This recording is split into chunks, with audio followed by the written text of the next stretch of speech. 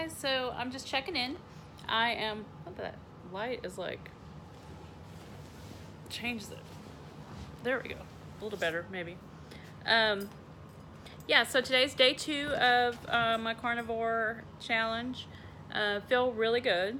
I um, for breakfast I had scrambled eggs mixed with some of the ground beef that I had last night. Um, and then for lunch I had some leftover wings that I made last night. Um, I feel good. I have energy. Um, I'm I'm not hungry today. Yesterday I was like starving all day. I felt like I couldn't get enough to eat. So far today I'm I'm better through that. And maybe I just needed more fat. I don't know. Um, but feeling pretty good. And we'll see how it goes. And we'll check in with you later. And if anybody else is trying carnivore, uh, comment down below and tell me how you're doing.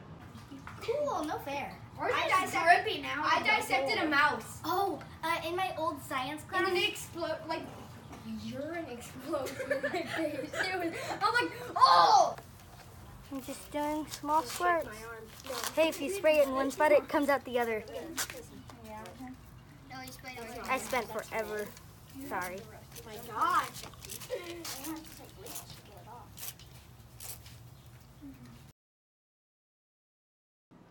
Hey guys, so just checking in.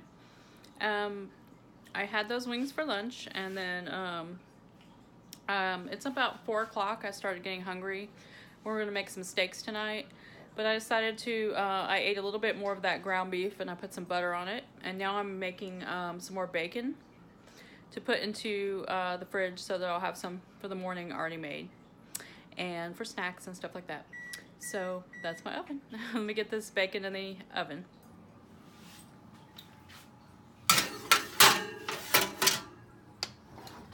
425, 20 minutes.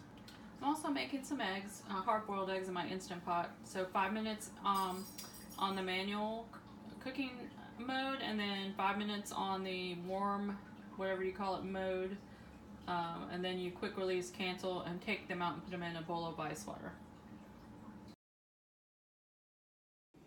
Hey guys, so I just want to wrap up my uh, second day of doing carnivore. Um, I feel really good. Like I said, I was a little bit tired, but I think that's mostly because I didn't sleep well last night. I um, had a, I don't know, my throat was hurting and I didn't sleep well. Um, so I don't really think that has to do with the food. It just has to do with um, not sleeping good.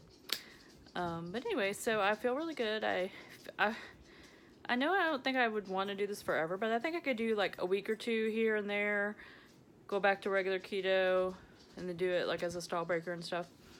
Um, it's the only the main thing I like about it is it's super easy. I mean, you don't have to worry about it or really think that much. You just make some meat with some maybe some butter or some bacon and some, you know,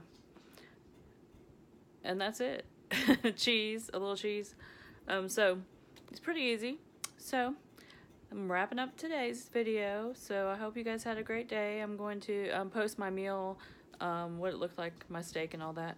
I'm in here and also my breakfast has no picture, with, but I told you what that was earlier because I don't know where I was thinking this morning. But anyway, all right, you guys, so I'll talk to you soon.